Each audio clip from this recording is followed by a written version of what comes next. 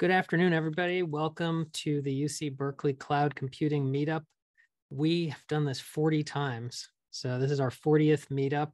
And I was recently looking actually on the website and I saw that we have over a thousand subscribers on um, meetup.com. So we've kind of um, kept this thing going. And, and the reason is because we always have so many fascinating people and topics that um, relate in some way to cloud computing and what is interesting about what people are doing with cloud computing. So today I'm really excited about this meetup.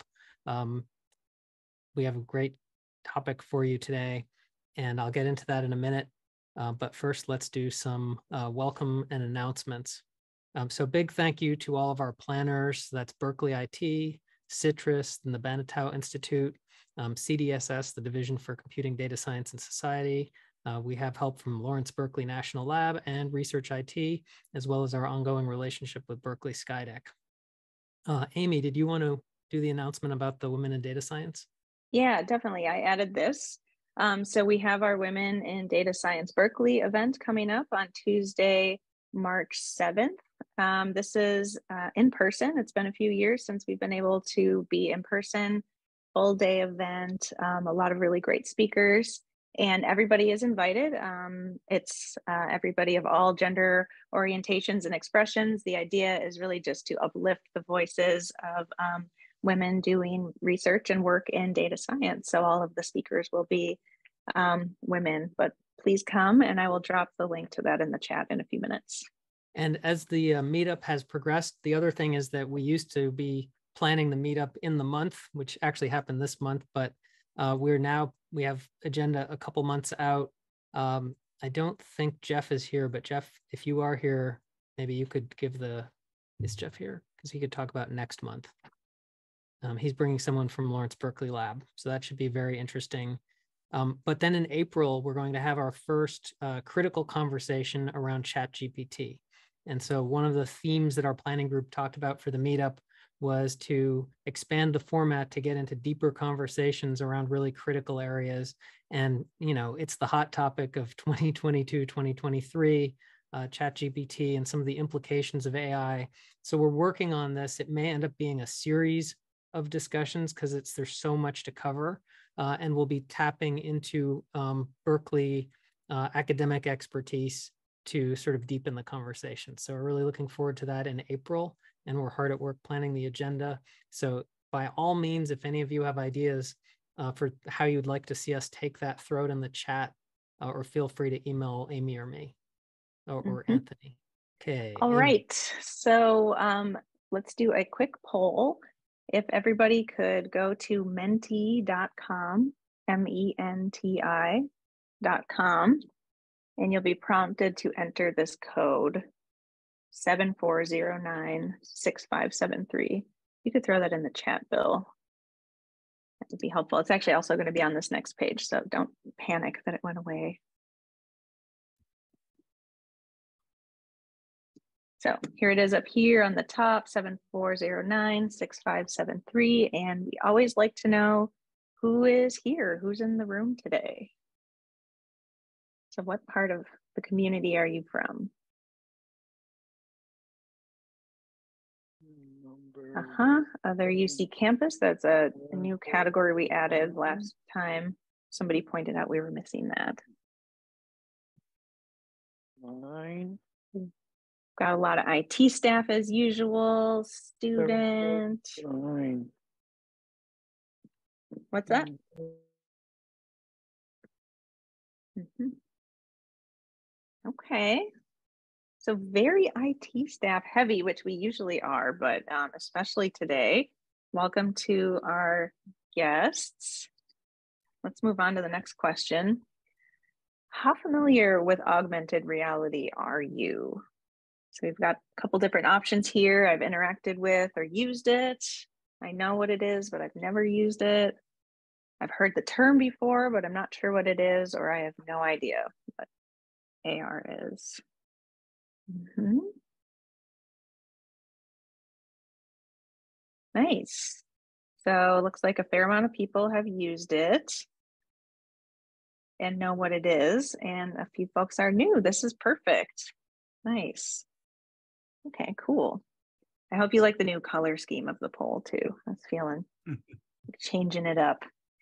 Okay, so this is related to what Bill was saying about the critical conversations that we're planning. Um, so we're going to be tackling Chat GPT, but what other new and hot and controversial topics should we critically discuss at a meetup? Amy, I was typing that as you said that, uh, inferring Awesome. that, that you were looking for other topics. So like, oh, that was my number one. So that's good confirmation. We're we're on So track. I don't know if I should leave it off or I put it in. Oh, put it in. Let's build the word cloud. Sure. Cloud security. Hello to our friends from the Information Security Office I see here. okay, AI, agree. AI generated art. That's a good point. Got a couple AI for arts. Those have certainly been all over my Instagram feed. Cybersecurity, cloud security. Okay, lots of security stuff, Bill. This is interesting. Multi-cloud security, open AI. I like this. So we have some big topics and then some kind of diving deeper into specific aspects of these. And I will say we do actually use this data from these polls. We're actually going to be embarking on a kind of like mining the data from all 40 of these meetups, and we'll have something fun to show in the future. But um, okay, orchestration, Kubernetes, agree. Okay, machine learning. Nice, science DMZ. Speaking my language. Okay, nice. Thank you. These are fantastic ideas. And like I said, we will actually use these and will help plan. Um, okay, so jumping back over, uh, back over to you, Bill. Okay, great. Um, so, right, this meetup today is going to feature uh, conversations that tie in with augmented reality, podcasting, and ethnic studies. So, I'm going to start by introducing Dr. Pablo Gonzalez, and I'll let him introduce the students we'll be hearing from also today.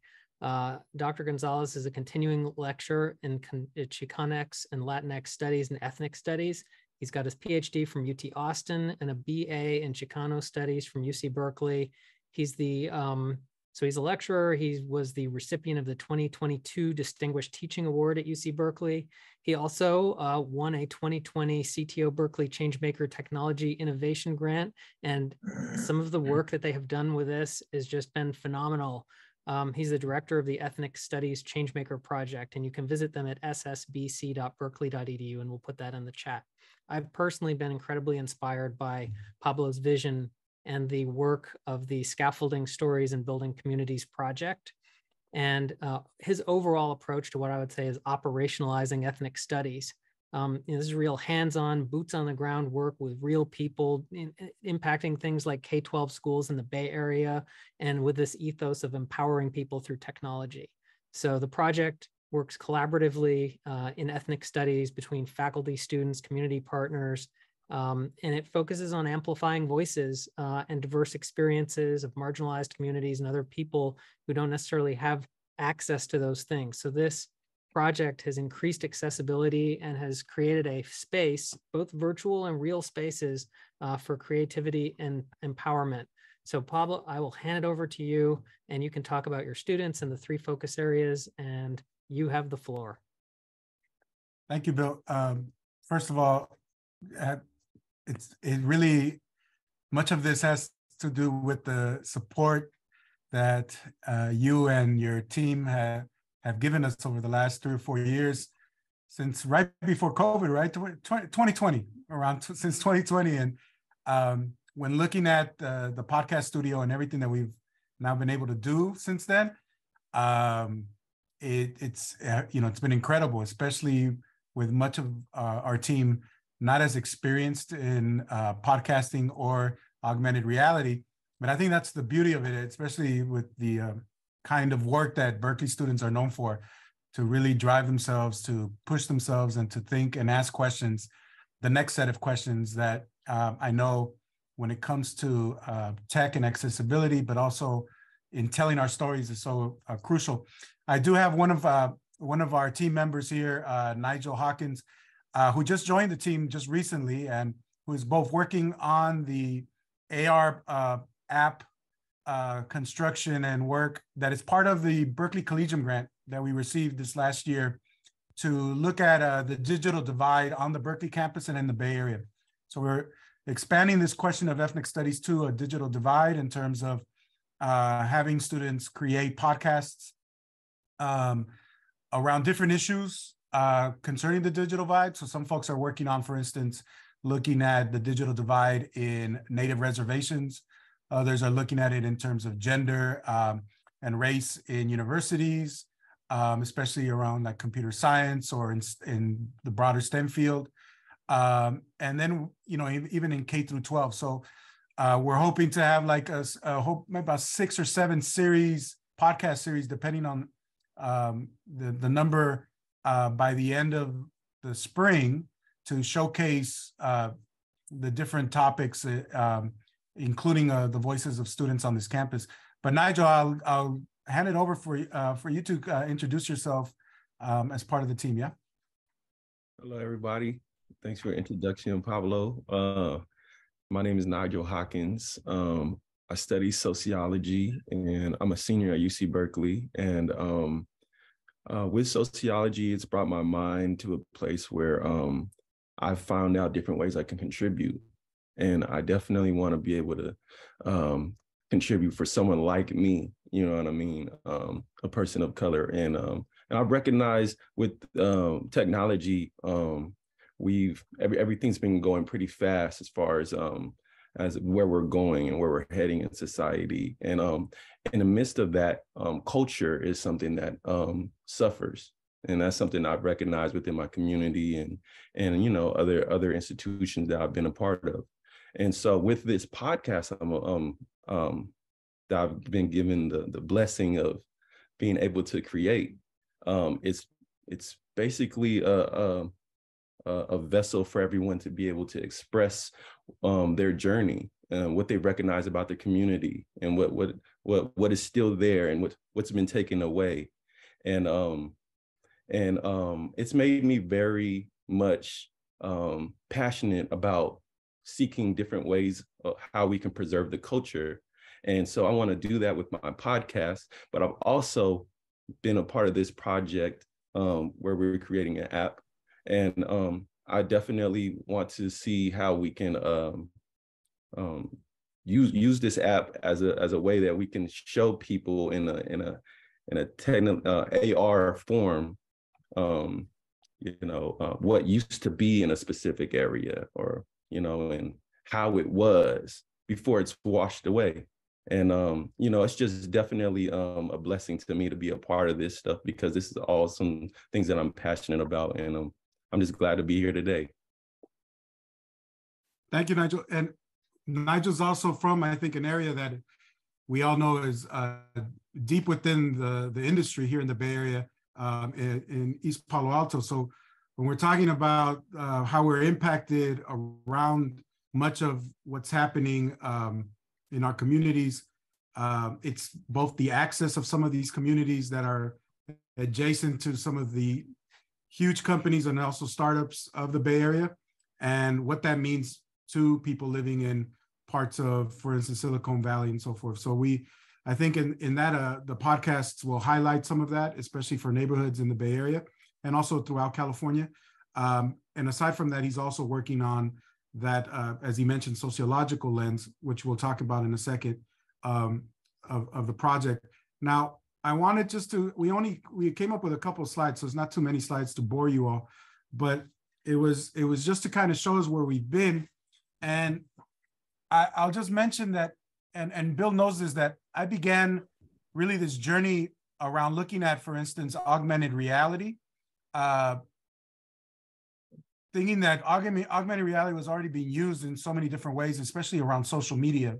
So we have augmented reality being used in the context of filters, um, of all kinds of different ways that people, um, you know, uh, social media games, uh, games that like uh, Pokemon Go, things of that nature that people um, spread throughout um, different continents. I remember seeing Pokemon Go played for the first time in Barcelona, Spain, while I was um, teaching summer abroad.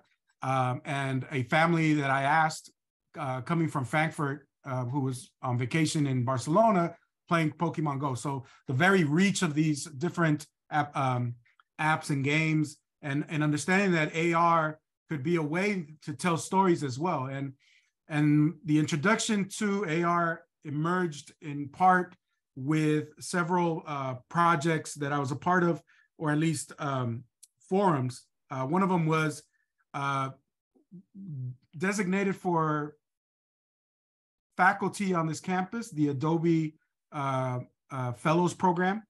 The uh, Gene Cheng and Victoria Robinson were headed were heading a couple years ago, and it was to try to use, for instance, the Adobe Creative Cloud in the curriculum uh, to be able to construct and and uh, deepen uh, the learning outcomes for students using the many um, apps and programs that the Creative Cloud offers.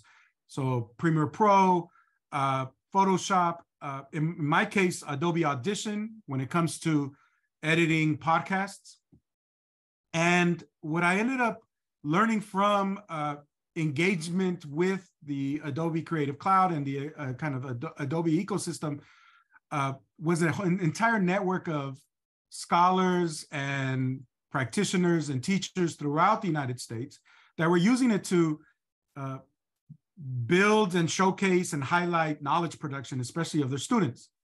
In my case, I saw this really interesting pro uh, project coming out of uh, Winston-Salem University, which was, I think, a, an Adobe school. And they were using InDesign, Adobe InDesign, to create digital journals for their students digital journals on their work and portfolios.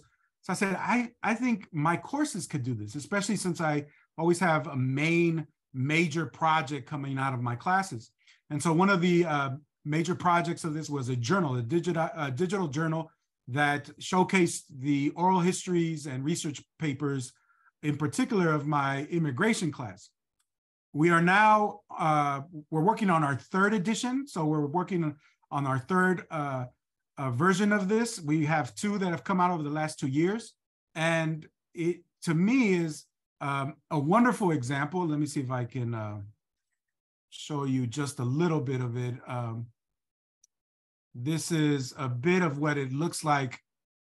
Um, it has the name of, for instance, the person who's uh, is it was interviewed. Most of them are oral histories of parents, family members, people who have um, experience migrating to the United States from wherever it might be, uh, with the focus on Mexican and Central American migration, but it, in particular from other places. And it was a place for them to, to showcase and highlight the lives of people that were dear to my students. And I have to say, the, there's a sentimental value here that I very much uh, uh, highlighted in the class. That is, do not let the opportunity to record and to document and to and to show the oral histories of your community and your family go to waste. If they're here, document them, hold them for future generations. It's one of those things that I remember as a Berkeley undergrad, um, having the opportunity to document the uh, stories of my grandmother who migrated to the United States in the in the 1960s. And I now have, for instance, audio tapes that my me and my cousin have of interviewing my grandmother, so we can hear her voice um, and hear the stories that she would tell about coming to this country. So the opportunity then to digitize it and have it available is something that I think uh, our communities and our families now can hold and say, we are now part of um, the University of California and so forth. So we were very much inspired by that work. But the other part that I think is unique to this project is the fact that I wanted to add a different element to it. And that element was augmented reality. And the reason for that was that augmented reality could actually help people um, incorporate uh, uh, photos, mementos, things that were digitized or scanned uh, that showcased, again, the, the stories of these uh, families and these individuals. And augmented reality might be able to give you, uh, again, another layer of information and another form of archiving these stories, um, especially when it comes to video um, and adding other assets like audio. So for instance, I have these two examples that I just recorded real quick from uh, the use of the application that we use was Artivive, which I know that Bill and others have um, have used or at least talked about, and that certain parts of this campus use, like places in art and design use, especially around art, uh, to give uh, a different, again, a different layer to the kind of work that students are, are conducting. So I'll just show you real quick. Uh, 59.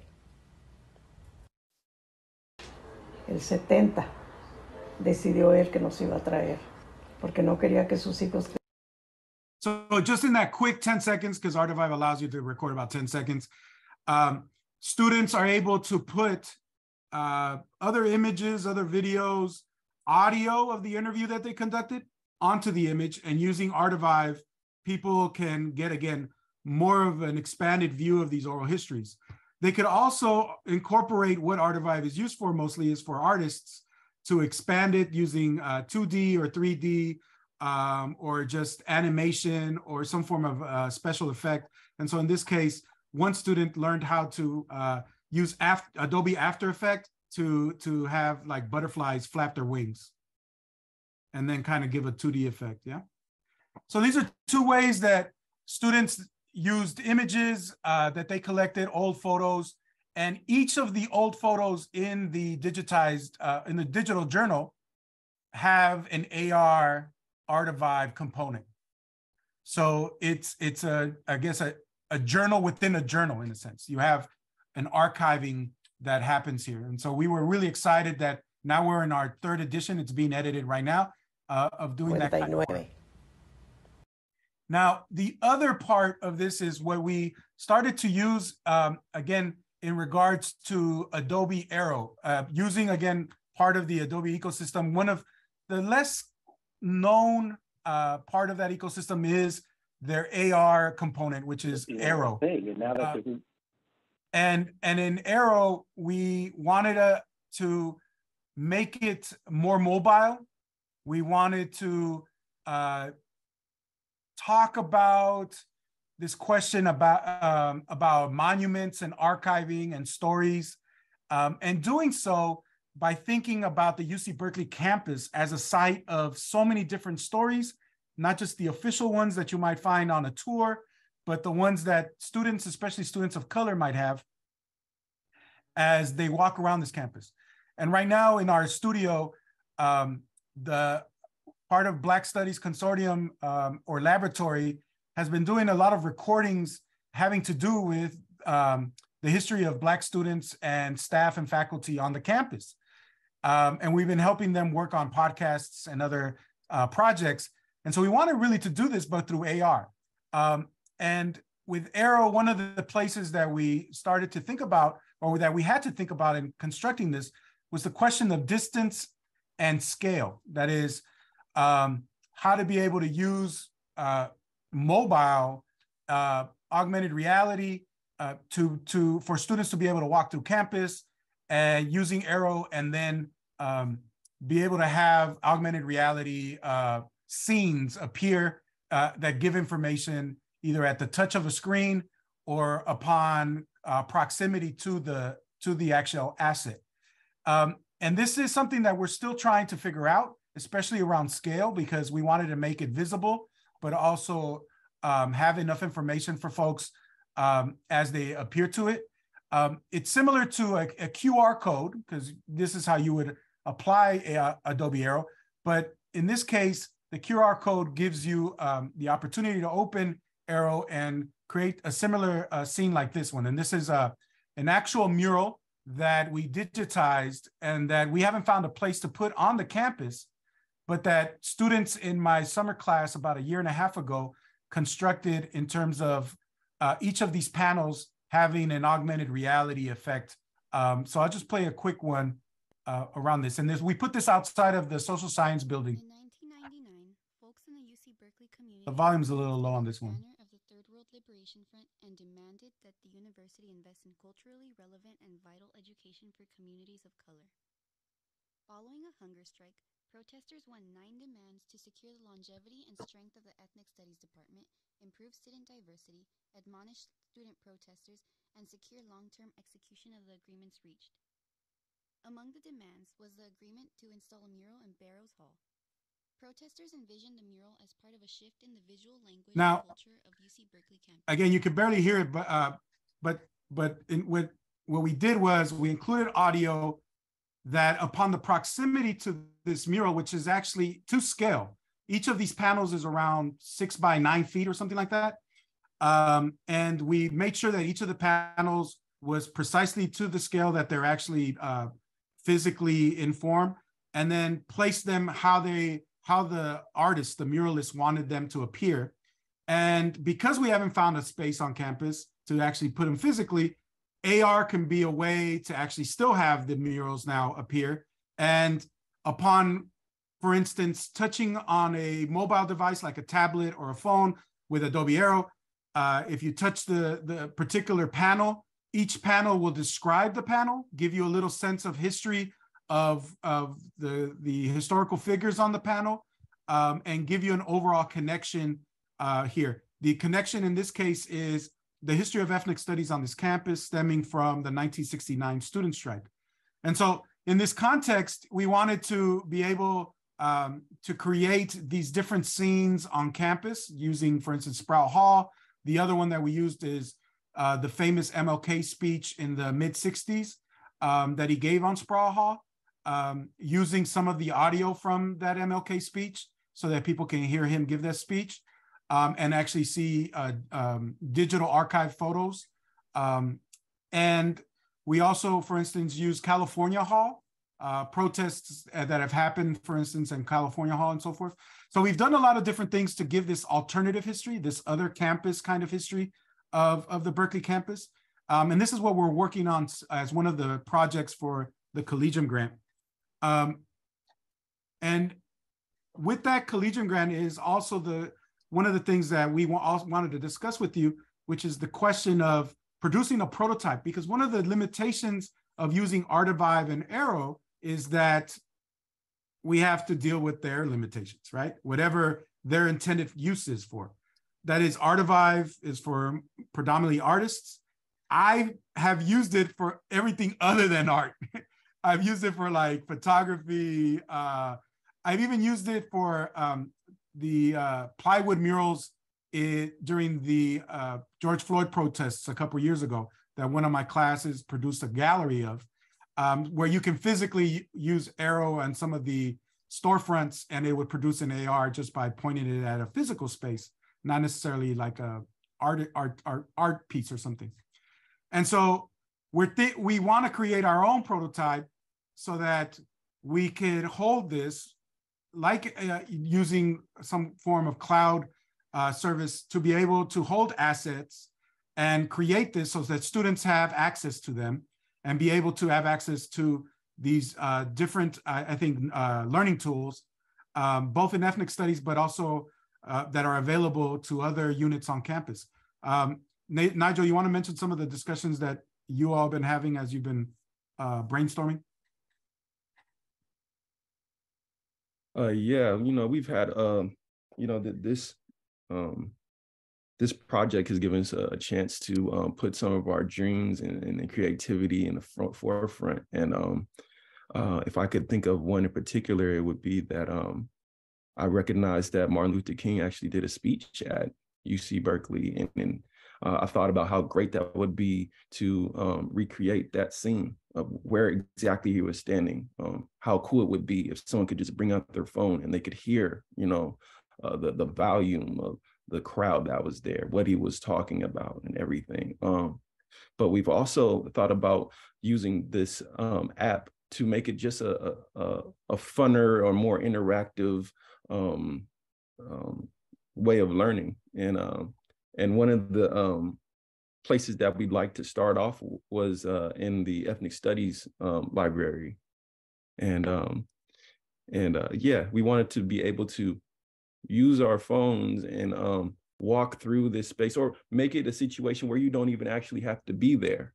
And you can um you know probably go through some of the aisles in this library in the in the um in, in the asian department and, the you know um chicano area and everything in there you you'd get a um you know a firsthand look at how everything was in reality real time without even having to do too much. And yeah that, that's some of the um uh, ideas that we have so far. And then hopefully um making our way out of the library onto the campus and then maybe even into the community itself. Um it, it was it, one of the one of the inspirations because i'm a star wars nerd is the that the scene at the jedi temple where they're they're looking you know at the libraries and somehow you appear to the you know the universe appears or the galaxies appear right? So to be able to use the library and the li- different libraries on campus in particular here the ethnic studies library as uh, a place where you can have either qr or or other forms of uh, to to to have ar assets and add more information whether it be through sound similar to what you would find in a museum that now uses ar or uh, QRs and so forth. Um, and so that's that's kind of one of the ideas that we wanted to create, especially on, on particular archives, to be able to work on particular archives um, in the library, um, so that they so that they so students can gather questions from them while they're gathering information from this for uh, primary uh, documents. Um, this let me go back to this last scene this this is uh, a survey that nigel and uh, some of the other team members uh, liz toledo winston uh, uh, kai and and, and sarai montes are working on to try to get a, a, good sense of what berkeley students would like in an app like this um, so that we can find um, the accessibility aspect of the app but also in terms of what what would be uh, useful when um, applying this to a university or um, uh, yes, definitely a university setting in this context. Um, and we are working on three different projects. And again, we are mo mostly uh, self-trained in this regard. That is, we're we're entering um, a field that we know a little bit of, and we're still testing out. We're actually really excited just to test out um, how things work, uh, we have Winston and Liz and Nigel working around Unity to see how to create some of these different uh, AR um, environments. Um, we're using the HoloLens um, to see how we, we might be able to create a HoloLens app as well using the HoloLens um, as, a, as a mixed reality VR and AR uh, component to this. Um, and of course, right now, because I think the Adobe um, uh, Creative Cloud is, offers us so many opportunities to use um, these programs to continue to use Adobe as it continues to update its, its projects. Um, in regards to Unity, uh, this is around, um, since much of Unity is uh, geared towards gaming, how to be able to now use that in regards to AR predominantly. Um, Nigel and, and others have mentioned around the question of AI uh, as, is also something that's being worked here. Um, and, and so we're really trying to ask questions to think of ethnic studies um, not in 2023, but in the next 50 years and what that might actually mean. Um, because we know that in ethnic studies, it one of the major components of that is the question of history and also um, making sure that there's an archive. But we also feel that the accessibility of that archive and its connection to the broader communities, both in the United States and across the globe, is a crucial element to the access to knowledge. And also, the access to knowledge leads to encounter and dialogue. And, and, I and we feel like these types of programs, especially um, through uh, these kinds of applications, might give us an opportunity to, to, to really push for that. Um, we want to keep it short because we want to talk to you all. Um, the HoloLens as something that we want to use, knowing that HoloLens is used for industry, well, it should also be used in that regard for educational industry. And we've looked at some of the recent apps that are on HoloLens. And we feel like learning how to use that in the context of especially the library services on a campus like Berkeley w- would expand tremendously uh, the way that we think about AR in relationship to um, knowledge production and storytelling in this context. Yeah.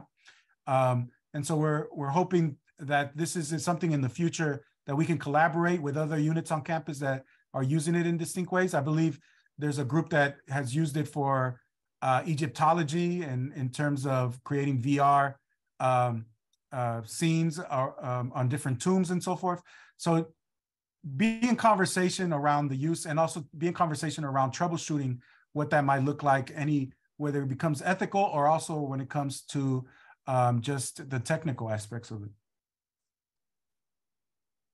And we know that the applica- you know, the application wise, it has to be cool for students to be able to also use, to be able to have a sense that this is something that can now become um, normalized in everyday use for students. Again, if it's used in social media, especially when it comes to filters or in, on TikTok or in Instagram and other forms, why can't it also be used in regards to um, information when it comes, uh, in this case, to knowledge production that um, they themselves produce or that um, are included already in the archives of libraries on, on the Berkeley campus or in other campuses. And again, we're beginning, I think, not from scratch because we have amazing support um, from, from you all, um, especially from uh, Bill in the uh, CTO office. But we are definitely thinking like, where do we start? We're starting trying to uh, brainstorm and branch out what um, ask both people in the industry because we are in the location of that industry here in the Bay Area, but also to try to um, think of not what would be best use right now, but what would uh, um, kind of last uh, the next 10 years, next 20 years, um, so that it's something that, again, future generation cohort of Golden Bears could be able to use. Um, are we using the right software platforms? And how do we produce the core features in these experiences that we want to create? These are some of the questions that we've been asking ourselves in this process. Um, this is, you know, I'm sorry it took a little bit too long. We just kind of uh, wanted to uh, talk about these things, myself and Nigel, but we'll take any questions, comments, or just uh, thoughts that people have, yeah?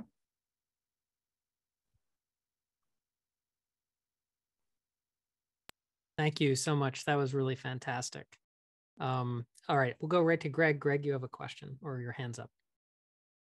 Yeah, thanks. Um, thank you, Professor Gonzalez and Mr. Hawkins for, for sharing this, this important work. And I actually have one specific uh, question for Mr. Hawkins.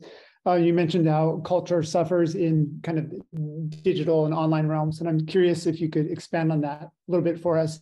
You know, is it is it that real world systemic issues simply carbon copying themselves the digital realm? Are there are, are there new or different challenges and so on? Well, I, I'll just say that there's um there's there's an amount of gatekeeping that uh, that that keeps a certain um population of the campus or even in in particular areas that um that keeps certain creativity out of out of uh, having a chance to produce itself or recreate itself or develop itself um and um I guess I'm passionate because um, there's something called a sociological sociological imagination, right? And it's basically understanding how outside is doing and and recognizing your chances in that world from your special your, your social space. And um, so when I ride my bike throughout my community, I see a bunch of things that are changing. I see uh, uh, Amazon here, I see Facebook over here that are just you know just doing great, you know. But around it, you know, there's there, there hasn't been any help at all.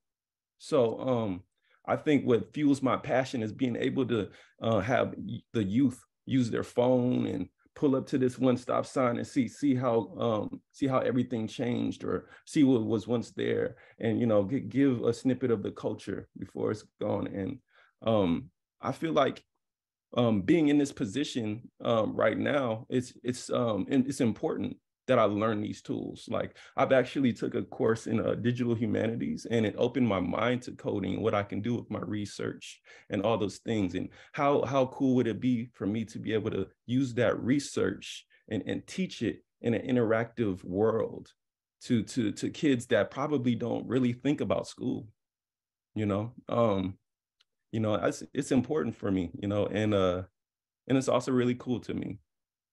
Mm-hmm. Cool, thank you. And you know, I've ridden my bike on more than one occasions off that bridge, right? Facebook and East Palo Alto, and and there's there's uh, I'm sure there's lots and lots I don't see, and I can only imagine if that can sort of be brought brought to life. You know, the, the, the possibilities are really tremendous. Thank you very much. Yes. I will I will say that you know we're definitely also working on curriculum when it comes to this. We've already worked on a bit of curriculum using Artivive um, to to use it for the formation of particular cultural artifacts or production, especially around uh, foodways, um, soundscapes, uh, and and we were published as part of a kind of a digital collection of different universities who are working on digital humanities. Um, I'll send the link to to Bill, who can probably send it out to everybody, where where they're located. Um, and we were excited to see that our our two lesson plans for creating that were accepted because I think part of that is also creating a uh, that dialogue across uh, different disciplines um, and communities around this question of what it means to continue to produce culture and main, and and also the politics of culture uh, within this particular space, yeah, or these spaces. Thank you. I have a question. Um, so I was part of the team that originally launched what's called Productivity Suite, and it's like the Adobe tools were part of that. And you know, part of the original vision that we had was this would put these tools in the hands of all of the Berkeley community and make that access to those tools such as it is. However, you know, as I I wonder how you approach now that's in the ecosystem of things that are at Berkeley, but it also has sort of borders around it. And if you want to go out into the community, then these are expensive tools. And I've mm-hmm. heard other questions from some of my students asking about like why they can't run them because the resources on their laptop isn't sufficient to run like some of the video production tools. I wonder if you've encountered that and how you think about issues like equity in the software that you're choosing and how that affects how you tell your story? A great question, Bill. I, one of the things that we've done is also train high school students in podcasting, and we we create tutorials in Adobe Audition. Mind you, this is to, this is our own understanding of of actually collecting tutorials here and there. Um, I've participated here in the Advanced Media Institute uh, around teaching when they teach or they train folks in podcasting and using a lot of that information to create our own accessible tutorials. And I what I noticed around high school students was they don't have access to the cloud, right? And in fact, they do have computers, but they're Chromebooks. And Chromebooks are what I call them glorified uh, web browsers. And so they're not able to like, you know, use the Chromebooks because they you can't get the applications that they need or the programs that they need to edit audio, for instance, at least in that context of say, for instance, you, using Audition that comes in, in, in as part of the Adobe tools, right? And so we the way that we've worked, at least with that, is to try to locate, um, make do with with very little, make a lot with very little. Find uh, free um, audio editing software um, uh, using using whatever possibility for audio recording that um, something as limited as say for instance a student's chromebook might have um, and still be able to produce high quality um, audio files with that. We teach students not with microphones but with their cell phones to record. So be able to use that in the context of producing podcasts. In terms of ar that's where we want to locate ourselves to be able to uh, find that and bridge that accessibility aspect of it. Um, Artivive, you can put it on a smartphone, but not everybody has, again, the ac- accessible to a smartphone, even in, in the communities that we want to reach or amplify, right? Um, so to be able to do something that is available to, uh, to students, but also to the uh, to other communities and be in conversation with them for them to add assets to it is something that I think we're we're um, centered around doing um, in in this project. Great, thank you. Any questions, other questions from the group, or um, also if you wanted to use us for any of the feedback or questions you had, we happy to do that too.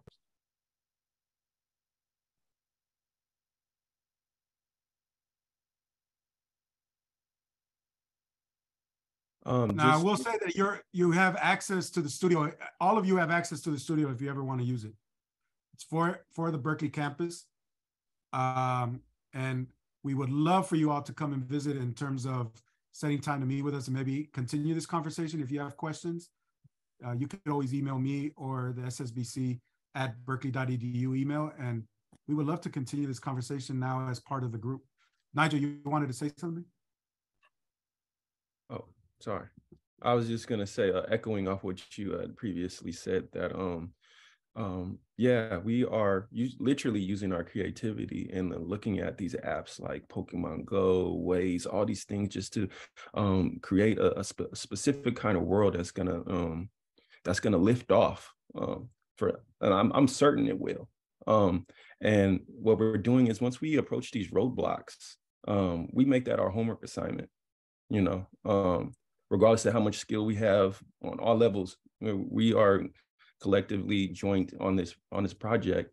And uh, I guess my question for you all is, um, is would there be a possibility if we could um, ask you questions in the future um, if we do um, encounter some of these roadblocks, if we can get some of your input or you know some a little bit of direction, you know that's that's really what I would like to know.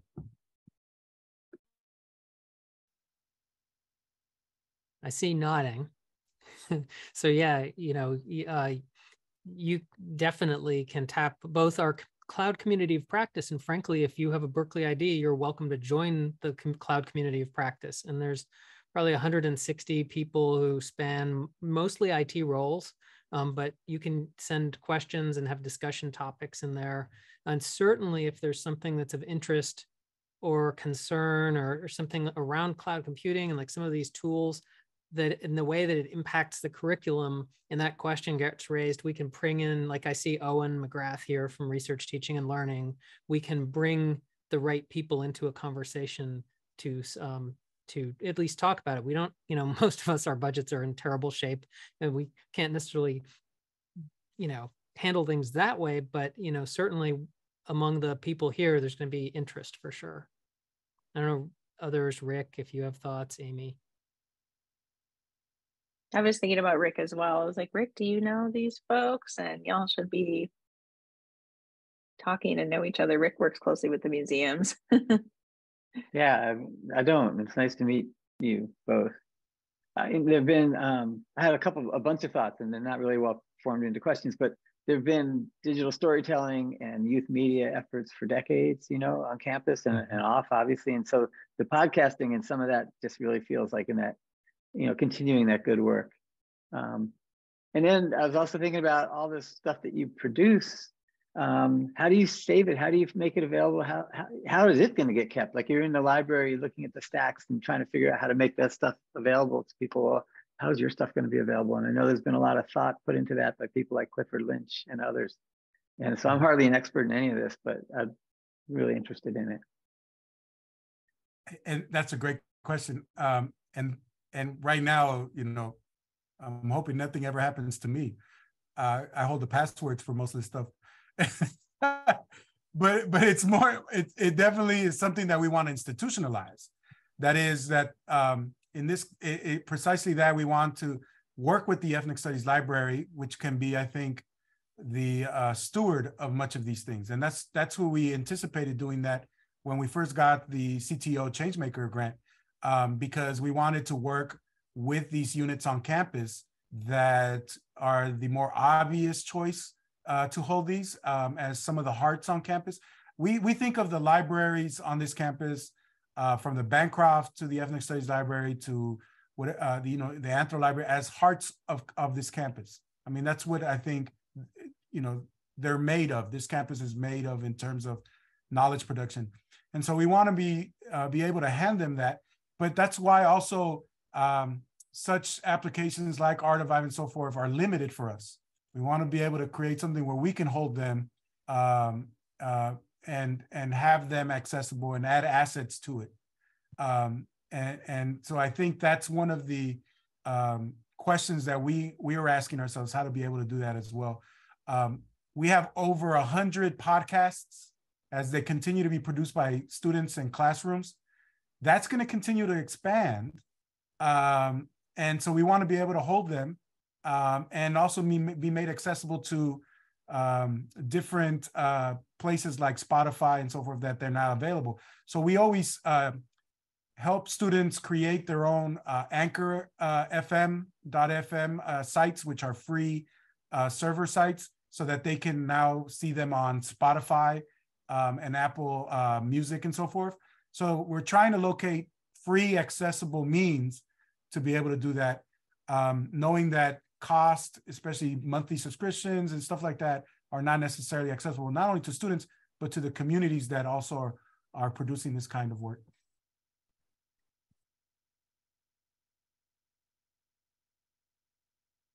That's all really exciting. Thanks. Uh, Greg.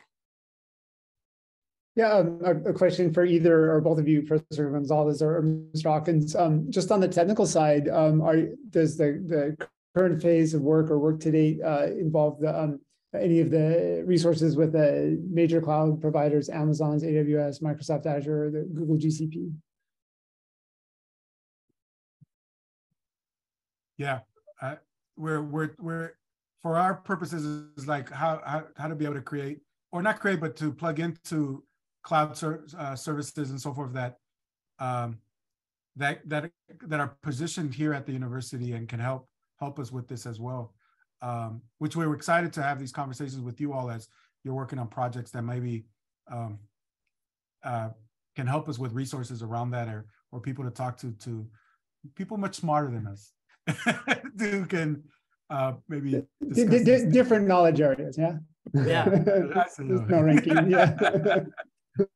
we can't all specialize in everything. So. That's right. That's right that is and that's part of the vision of the power of the community is there isn't like a secret pantheon of the experts here of some secret technology it's kind of all of us trying to figure this out together and then uh, owen put in the chat uh, this was actually another changemaker grant awardee the um, xr the extended reality community of practice so that's um, they've they've gotten this off the ground and it would be a perfect um, connection point also. Oh, wonderful. Some of the work you're doing. The link is in the chat. I just look, I just clicked on it right now. Well, a lot of us have a an all staff meeting to go to it too, but this was fabulous. And I, I hope that we get to keep in touch with you. And I hope that people heard and we'll get the word out. Um, if you want be careful what you ask for, but they have a fantastic podcasting studio and a lot of really cool equipment and people there. So it's definitely worth checking out. And that's at uh it's at the website, right? SSBC. Yes, it's I'll put it in the in the chat right now. It's in 562 uh social science building. Thank great. you for sharing all the links and everything. The artwork is just great. Yeah, looking forward to digging in.